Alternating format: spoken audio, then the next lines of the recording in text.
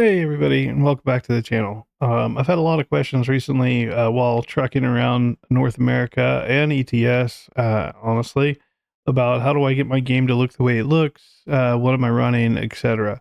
Uh, currently, I do have JBX3 installed, but that's not where the richness and the uh, clearness, if you will, the clarity of the image is coming from. The clarity of my image is actually coming from uh, free software that comes with every NVIDIA graphics card. It's baked into it. Uh, some people call it uh, NVIDIA uh, NVIDIA filters or reshade. Um, for me, I just this is a, a color filter. If you're if you're familiar with video editing at all or image editing, um, you'll know you just up and down the contrast, the clarity, uh, the sharpness of things, if you will. And NVIDIA gives us that capability to do right here inside of ATS. There's a way you can do it on your desktop, but I don't like doing that because it affects your entire computer and everything on it, including your desktop and any game you play. And different games need different filters to make them look the best they can. So I'm going to walk you guys through what I have done, and I'll show you my settings. And then we'll do a quick comparison between what does JBX3 look like with those filters off, and then what does it look like with my filters on. Um, and then I'll log out. I'm going to pull JBX out. We're going to go back to standard SCS graphics, zero mods. And I'm going to show you what my reshade filters look like, both on and off with standard graphics as well. So without further ado, let's get into it. So in order to access this filter, it's simple key press. Now, the first time you're going to have to come in here and simply enable it. You're going to have a toggle. It'll NVIDIA is going to tell you. Um, so we will press Alt Z. Even for your first time, you will press Alt Z. It's going to come up here if you don't have this enabled, and it'll have a little button for you to turn it on. Once you turn it on, you're going to have to restart your game. But the second time you come into your game and you press down Alt and then Z, this pop out's going to happen. Ignore everything here. The only thing you care about is game filters. So we come in here and you'll see I've got mine applied here. I'll quickly walk you through what I'm using. There's only four active out of the 22 down here that's available. If you wish to play with these, by all means, knock yourself out. But in order to get your game to look how I have mine, uh, these are the only four you need to worry about. So anything, any video card that supports RTX, which would be a 20 series or later, I believe, um, you could come in here and change the intensity. Uh, this is what I have mine currently set to. The next thing I've adjusted is the brightness and the contrast to kind of get the colors to pop and darks to be darker. Uh, this is where we're at. Contrast at 10, highlights are negative 60. Again, that's darkening everything up a little bit, make the blacks more rich. Uh, same thing with shadows. And then I haven't touched gamma. Um, details, very similar. This helps get rid of the jagged edges that you would see either on the truck itself or like on the building behind me, possibly in the clouds. Uh, so this helps get rid of that. HDR toning is going back into and it uh, it affects more of the brightness, how uh, um, the overall screen brightness, if you will, as well as how bright are your darks. Um, I prefer mine to be rich.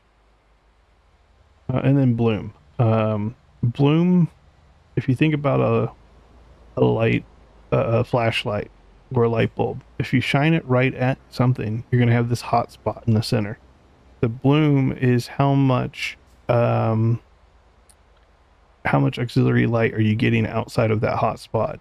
So if, uh, if you shine like a laser pointer at something, right, obviously it's just there. But you shine the flashlight at something, you're going to have the hot spot, and then you're going to have the big glowing effect. And that's what bloom is. Uh, so I keep mine at 15. You can increase or decrease based on your likes. And then uh, color here. Color tint is going to be um, as you move this up and down. I don't want to mess with this right now, but as you move it up and down, it'll select different color, um, different color types. So, uh, do you want your color tint more natural and authentic as mine is, or do you want it to fade more into the greens or the reds or the blues? Depends on that feel that you're going for. Um, and once you've selected that color, going into the tint and intensity is how much are you going to um, make that color uh, the tint color, how much are you going to make that pop? Uh, just like your vehicle, your car windows, right? You might have black tint on it. I know some people do red tint or orange tint or whatever, even your sunglasses. Uh, so that's kind of what the tint color is, and then the intensity is how how much tint you have in your sunglasses. Um, and then vibrance, like how much does that color pop? And for me, it's more of a natural tone, um, kind of a cool tone. That's all I've changed. And now this is what the filter looks like on. What does it look like with JBX3 graphics with it off? So all I have to do is click this button here and boom. You can see an immediate shift. And let me uh, do that a couple of times. Right, so do you want this more blurry tone? Um, you can kind of see some of the jagged edges and stuff up here. Or do you like this more clear, cool tone? For me, I much prefer this. It just gives a more, uh, more personality, to, in my opinion. Um, whereas this is more washed out. Um, if you're going for like the vintage look, I suppose this would be okay. but if you're going for the clear and photo mode, um, I would go with this. So that's how uh, reshade is done. And now let me show you what this does when we don't have JBX. I'm going to come out to the title screen. I'm going to leave this all in the video so you guys can see. I'm not not pulling your leg here. Go into my mods. And I'm just going to pick anything that says JBX out. That's all out. Back into my career here.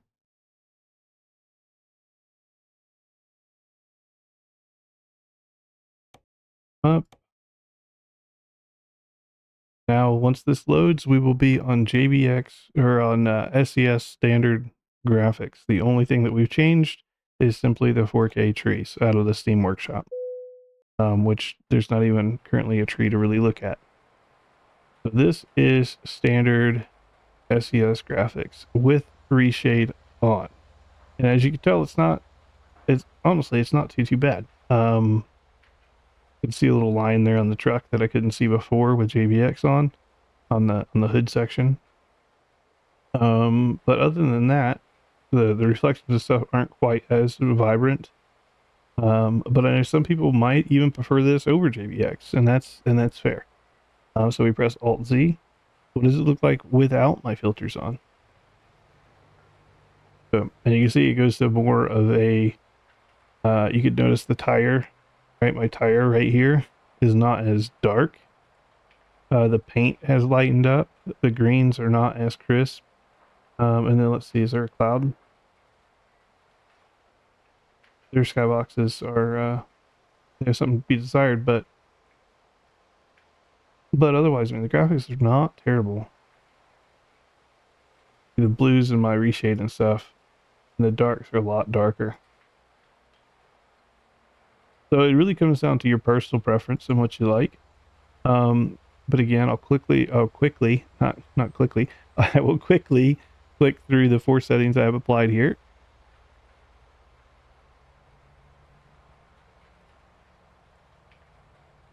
And then uh, you can use them or not based on your own needs and desires. But uh, to recap, it is color, details, brightness, and RTX dynamic vibrance. That is what you're looking for and you can play with those until you get them uh, where you like them. So hopefully this has been helpful, guys. Uh, this works in all video games, I should say, not just ATS and ETS2, but if you're playing like Microsoft Flight Sim, or maybe you're playing Roadcraft, or you're playing something um, that the environment matters, right? If you're playing like NASCAR or Formula One, do you care about the graphics? Sure. Do you care about the graphics to the extent? Probably not. You just want to win the race. but for these types of sims, even farm sim, right? You're going to be playing for a while. It's comfy, it's casual, um, and you want to enjoy and live and immerse yourself in the environment. I highly recommend using these NVIDIA Reshade filters. Um, I do it on a by game basis. Just remember those four areas. Uh, look at those four areas, and that will get you 95% of the way there with just about any video game out today. Uh, so hopefully this has been helpful. Um, I didn't want to complicate things. Um, and if you have questions, comments, anything like that. If this has been helpful, please leave a comment down below. It does help me out a lot.